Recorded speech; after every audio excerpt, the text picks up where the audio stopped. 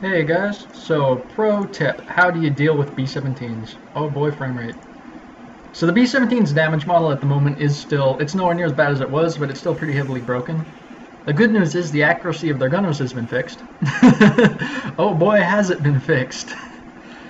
So you can now safely loiter around within a kilometer and a half of them without just dropping dead instantly.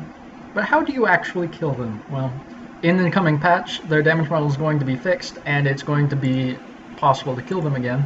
But at the moment, it's not. So you apply a very simple tactic, and it works every time. I did end up giving him a kill for that, though, because Americans get kills when they ram, but the Russians don't. Remember, everyone, there's a massive amount of U.S. bias because, you know, absolutely no bias towards the Russians whatsoever, I'm sure. The point I'm trying to make is there actually really isn't any intentional bias in this game. There's just some terribly broken game mechanics.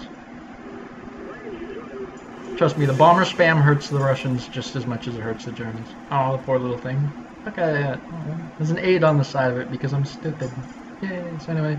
Ram B-17s, it's, it, it works. Trust me. Trust me, it really does.